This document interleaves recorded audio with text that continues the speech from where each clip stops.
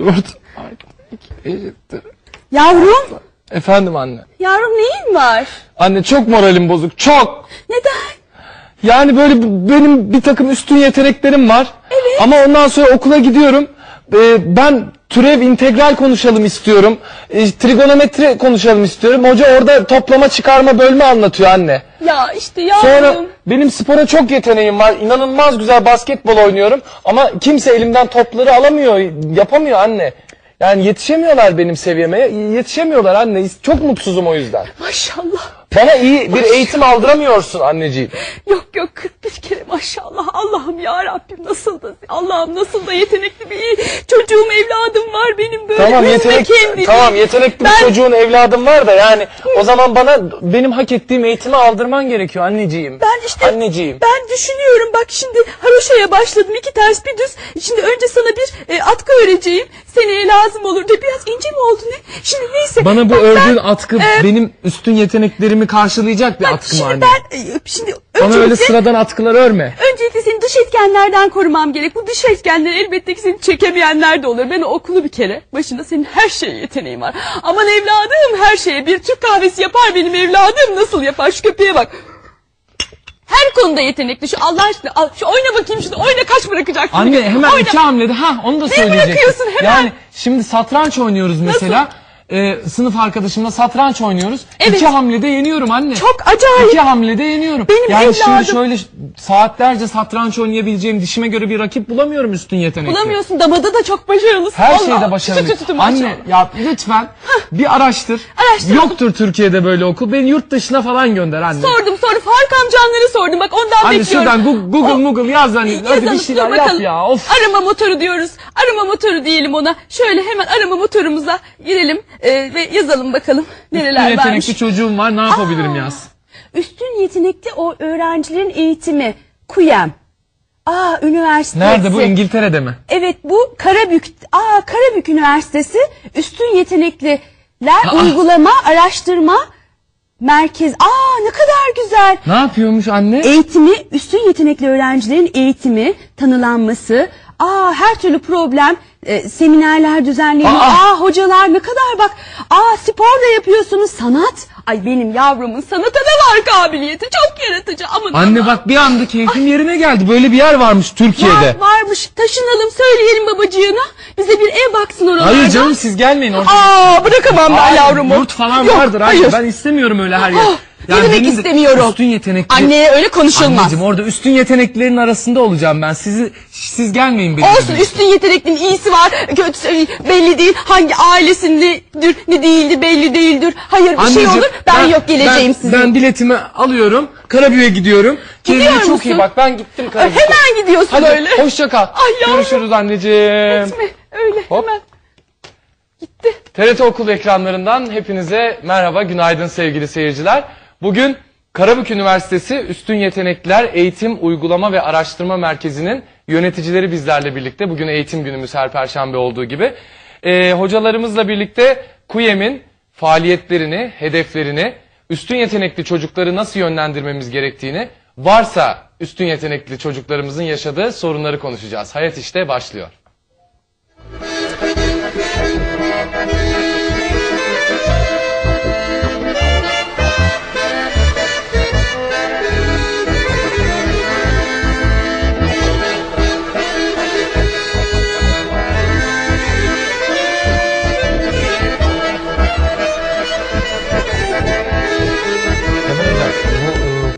Kuruluş safhasında, KUYEM'in kuruluş safhasında bu ekip çok farklı disiplinlerden, siz işte beden eğitimi branşınız, hocam edebiyattan, e, mutlaka başka disiplinlerden de hocalar var.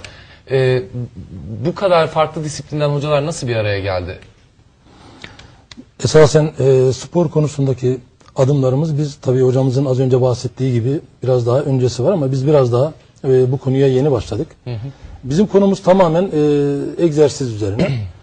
Bu 85 tane öğrenci ki 15 bin üzerinde az önce hocamızın da bahsettiği gibi arasından seçilmiş. E, düşündük e, bu 10, 85 tane öğrencilerimizin içinde bunları acaba farklı dallara, e, branşlara ayırsak ve bunların içerisinde de üstün yetenekli öğrencilerin de sportif performanslarını bir gözlemlesek istedik ve nitekim bunda e, çok önemli ipuçları elde ettik. Bunlardan bir tanesi e, özellikle reaksiyon zamanları normal kendi yaşıtlarında olan diğer öğrencilerden iki kat daha hızlı. Yani algılama özellikleri iki kat daha hızlı. 10 ayrı fizyolojik parametrelerine baktık. Bunlardan bir tanesi de reaksiyon zamanıydı. Bunu görünce acaba dedik e, reaksiyon zamanı gerektiren spor dalları genellikle çabukluk isteyen, sürat isteyen, e, ani karar vermeyi gerektiren spor dallarıdır. İşte bunları sayabiliriz. Basketbol, voleybol, futbol ve bu arada mücadele sporları. Tamam hocam o zaman ufak ufak girelim bu e, üstün yetenekli çocukların nasıl tespit edildiğinde. Şimdi e, bir çocuğun spora yeteneği vardır ama spor konusunda bir çocuğa nasıl na, ne olursa üstün yetenekli diyebiliriz. Bir çocuk basketbolda örneğin ya da voleybolda az önce söylediniz. E, ne ne yapma ne oluyor da o çocuğa biz üstün yetenekli diyoruz? Şimdi üstün yeteneklilik ay- ayrı bir konu. E, sporda yetenek tespiti başka bir konu. Biz üniversitemizde bu üstün yetenekli öğrencilerimizin e, diğer yetenek seçimindeki gibi acaba bu üstün yeteneklerin arasında e, bunların IQ seviyeleri yüksek e, sporda performans gerektiren elit sporcu olmaları yönünde acaba biz e, bir miktar buradan e, yetenekli sporcu seçebilir miyiz, bulabilir miyiz düşüncesiyle yola çıktık. Ve bir bilimsel araştırma yaptık. Bu araştırmamızı e, ben bizzat yurt dışında çok önemli bir dergide yayınlamak üzere bugünlerde e, gönderdik ve yakın bir zamanda da yayınlanacak. Özellikle bu reaksiyon zamanı. Bunları örnekleyebiliriz. Reaksiyon zamanı deyince hemen aklımıza gelecek. Bir voleybolda, bir basketbolda, ondan sonra futbolda, e, judoda tabii ben milli judocu olarak uzun yıllar bu branşın içinde hizmet etmiş bir eski milli judocu olarak e, judo da çok reaksiyon ve ani karar vermek isteyen sporlardan biri. Yine mücadele sporlarından hocamız Muay Thai milli e, Muay Thai'cilerden Tekvando'yu bu arada işin içine aldık. Kısacası öğrencilerimizi bu branşların arasına dağıttık. E, sizin az önce sorun, söylemek istediğinizi ben e, anlıyorum. E, yani diyorsunuz ki yetenekli, üstün yetenekli olanlar acaba yetenek seçiminin karşılığı mıdır? Hayır biz bunun peşinde değiliz. Bizim bütün derdimiz bu üstün yetenekli öğrencileri Aynı e, zamanda acaba biraz acaba sporcu performans sporu, iyi sporcu yapabilir Evet. miyiz?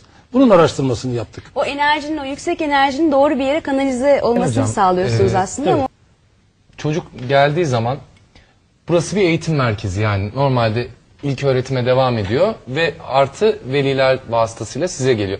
Ee, kimler tarafından ne gibi testler yapılıyor gelen çocuklara ve üstün yetenekli olduğuna kanaat geti- getiriliyor ya da değil deniyor? Şimdi biz öncelikle tabii Karabük Üniversitesi'nin e, ilklerin üniversitesinin ilklerini yapmaya çalışıyoruz. Bu üstün yetenekli öğrenciler üzerinde ilk defa Türkiye'de biz bir uygulama başladık spor adına. E, açıkçası QM'le yaptığımız bir e, işbirliğiyle biz bunu yapıyoruz ve velilere bildirdik. Bu çocuklarımıza spor yaptıracağız ve onların yeteneklerini belirleyeceğiz diye. Bu yetenekleri az önce de bahsettiğim gibi e, fizyolojik bir takım testler yaptık. Bunlardan birkaç örnek sunayım. E, durarak uzun atlama, denge dengede durma, e, ondan sonra reaksiyon zamanı az önce bahsettiğim gibi ve e, boy ve kilo ölçümleri, e, sıçrama kabiliyetleri, ani çabukluk gerektiren bir takım testler yaptık. Yani bunlar yaklaşık 10 tane.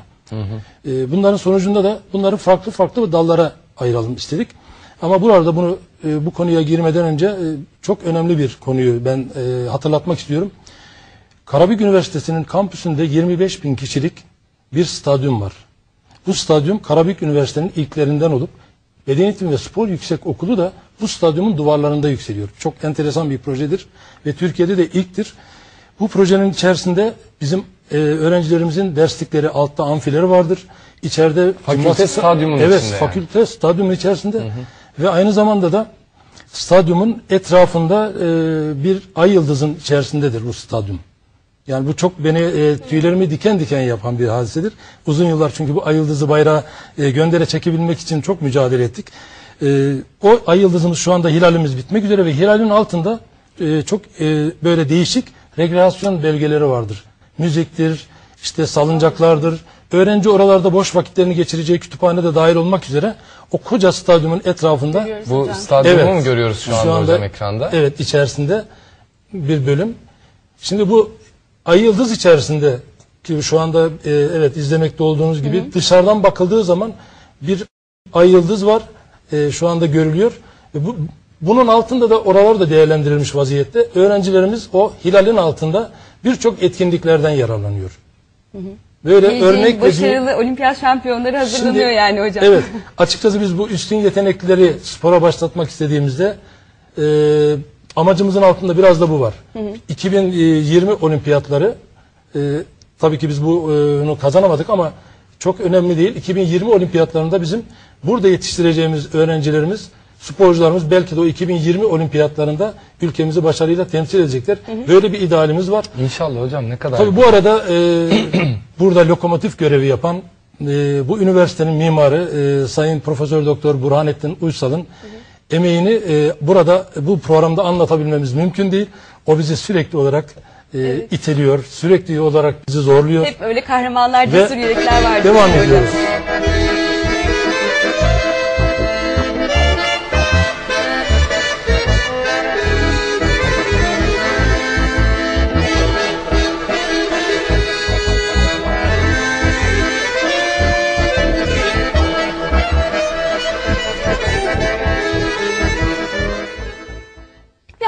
şöyle kayıver tozunu alayım onun. Anne bir dakika sporda üstün yetenekliyim. Ee, benim bu yeteneklerimi görmezden gelemezsin. Nasıl görmezden gelirim yavrum Aynı nasıl? zamanda- bir e, şey Bak, vardı. yani- Michael neydi? Jordani, Jor, Jordan. Michael Jordan vardı mesela. Ben gençken Jordan'ı hatırlıyorum. Of ne kadar başarılı. O böyle bir ne atardı?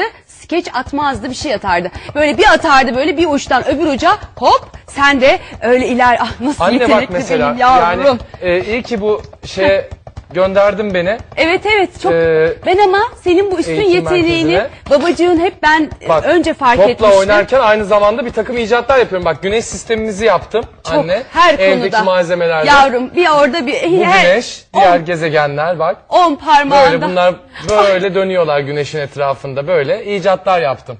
Ne oldu? Tıklanıyorum. Ha duygulandım. Ben de geze- benim yavrum- gezegen çarptı zannettim anne Yok dönerken. yok ay yavrum çarpsa ne olur senin yaptığın gezegen bana çarpsa ne olur Ah, git. ben böyle yavrumla gurur duyuyorum. Gurur duyuyorsun Yani anne bu ama kadar yetenekli bazen de- her konuda yetenekli olduğun için gurur duyuyorum Anneciğim ben seninle. her konuda yetenekli değilim. Şunu söyleyip durma. Her, konuda konuda yeteneklisin. yetenekli yani tamam üstün yetenekli olabilirim bir takım konularda. Şu konuşmanın güzelliğine bak. Şu Türkçenin akıcılığına, zarafetine. Akıcılığına. O kelimelerin üstünden hop hop hop. Allah'ım nasıl yumuşak yumuşak geçiyor yavrum. Dur şurada bir Ama işte- vermiş. İşte o. Böyle Türkçeyi ben düzgün konuşuyorum ama senin diksiyon hatalarını düzeltmekten bazen böyle yapacak başka hiçbir iş bulamıyorum. Anne Bazen ben benim de oluyor yavrum bak işte öyle işte bazen, bazen gelir, öyle şeyler. ba- bazen değildir bazen. Şimdi anneciğim, Evet anneciğim. yavrum. Şimdi Söyle. hep tabii ki her insan çocuğunun böyle çok e, her şeyi güzel yapabilmesini ister. Ama ben her şeyi güzel yapamıyorum. Bunu her fırsatta bana söyleyip benim motivasyonumu düşürüyorsun anneciğim. O nasıl konuşmak öyle? Nasıl yani? O nasıl konuşmak öyle? Ne demek her zaman her şeyi yapamıyorum? Sen her şeyi dört dörtlük fevkaladenin fevkinde yaparsın bir kere. Hayır, Hiçbir yapamıyorum kere anne. yani öyle kendine haksızlık etme. Senin yeteneklerini bir kere doğru değerlendirmeye, doğru e, kanalizelere e, gönderilmeye böyle üf, edilmeye gerek Anne ihtiyacın bize var. orada alçak gönüllü olmayı, mütevazı olmayı, e, üstün yetenekli olduğunuz için diğer çocuklardan farklı e, ne yapıyorsun? Kaşını. Farklı olmadığımızı, e, mütevazı olmamız gerektiğini anlatıyorlar ama ben eve geliyorum. Bu sefer sen burada bana e, sürekli gaz veriyorsun anne. O Aa. zaman senin de benim hocalarımla konuşman gerekiyor. Tamam o şey yapmıyoruz bak lisan Türkçen güzel dedim öyle kötü kötü kelimeler kullanma lütfen bak Kötü güzel- kelimeler kullanmıyorum. Hayır senin ben dediğim gibi spora bir kere. Bak demin ne Spor güzel- değil bir kere spor. Si- tamam spora.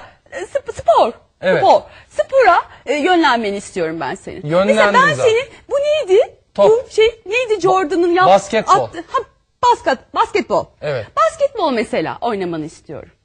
Boyun uzun. Tamam oynuyorum zaten. Yete bir oradan başlıyor. Boy uzun. Sonra elimiz çok Anne yetenekli. devamlı bana diyorsun ki en güzel resmi sen yapıyorsun. En güzel basketbolu sen oynuyorsun. Matematikte senin üstüne yok. Sen Fizikte senin üstüne yok. be yavrum? Aa, aa, aa. Hani vardı ya Masar Fuat Özkan'ın şarkısı. Sen neymişsin be yavrum? Bak ne güzel oldu. Bak hiç Müziğe de mi var acaba farkındaysan. yeteneğin Anne senin? bilmiyorum ya. Nasıl mesela kulağın mesela aldın mı hemen yetenek müzikte de olabilir senin. Vallahi yetenekli. Ay, ne Beni güzel. biraz yalnız bırak. Ben burada biraz kendi kendime ders çalışayım. Biraz Ay, top oynayayım. tamam. Hadi lütfen anne. Sen- Tamam yavrum. Sen kim git bilir benim o arada hocalarımla konuş biraz. Yeni lütfen. neler ne yeteneklerin Yanlış olduğunu yapıyorsun. fark edersin. Hocam böyle ailelerde var mı? Biz de biraz abartıyoruz ama affınıza sığınarak. Böylesine yetenekli gören ve yönlendirmeye gerçekten ihtiyacı olan yetenekler size gelen var mı? Tabii onlar velilerin desteği oluyor. Bu konuda gerçekten az önce e, çok da abartılı görmedim. İşin Sahiden. doğrusu e, ve böyle bir takım e, çocukları böyle yönlendirirken elinden tutup getirirken şimdi siz bunu söyleyince aklıma geldi. E, judoya başlatacağım çocuklara ilk gün dedim ki şöyle bir tanıtım yapayım. Hani bu branşı tanıyorlar mı diye falan. Karşıma aldım. Onlara tam sunu yapacağım. Aradan daha bir dakika iki dakika geçmedi hemen. Hocam ne zaman başlıyoruz? Onu hocam biz biliyoruz onu. İnternetten girmişler. İlk sorduğum soru judo nedir? Bunu bir şey yapar mısınız? Ee, anlatırım. Bilen var mı dedim. Hocam ne zaman antrenmana başlayacağız? Biz onu okuduk biliyoruz. Judo, ju, yumuşaklık. Abi şaşırdım. Hazırlık yapmışlar gelmişler hemen önceden. Yani böyle bir takım şeyler, e, davranışlar gösterdiler. Şaşırdım. İşte bizde judo olur. Diğer spor dalları, basketbol az önce güzel canlandırdınız. Basketbol, futbol, voleybol. Bu arada Kardemir Karabük Spor'un altyapısına bunların yaş grupları 9-13 yaş grubu, 14 yaş grubu. Biz onların altyapısına futbol takımının altyapısını oluşturacak bir kısmını da oraya ayırdık. Mesela şu anda. E, Karabük Spor'umuza bu arada e, kutluyoruz. iyi gidiyor ligde. E, dolayısıyla da yani e, çocuklar hazır. Çocuklar ne verirseniz almaya hazır. Bütün e, mesele bunları zaman ayırıp onları yönlendirebilmekte. İşte bize düşüyor tabii bütün Çocuklar- hocalarımıza.